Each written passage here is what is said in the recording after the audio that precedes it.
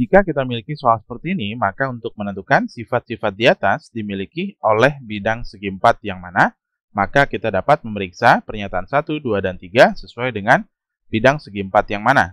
Kita buat terlebih dahulu bidang-bidang segi empatnya. Kita punya persegi panjang, jajar genjang, belah ketupat, dan juga layang-layang.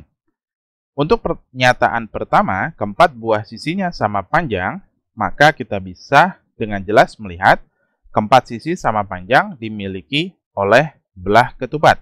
Ini pernyataan yang pertama terpenuhi. Kemudian yang kedua, diagonal-diagonalnya berpotongan tegak lurus. Jika kita lihat persegi panjang, diagonalnya tidaklah berpotongan tegak lurus.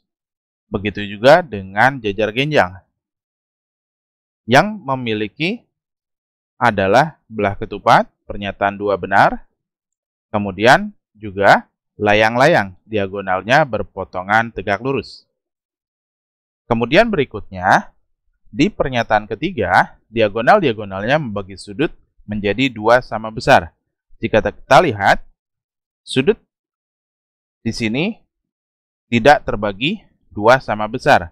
Kemudian, pada jajar genjang, dia terbagi sama besar, kemudian pada belah ketupat terbagi sama besar, maka ini pernyataan 3, kemudian jajar genjang juga pernyataan 3, dan layang-layang juga membagi sudut sama besar.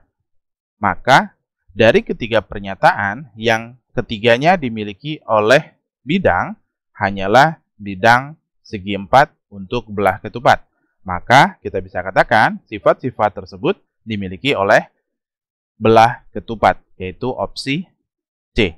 Demikian, sampai jumpa di pertanyaan berikutnya.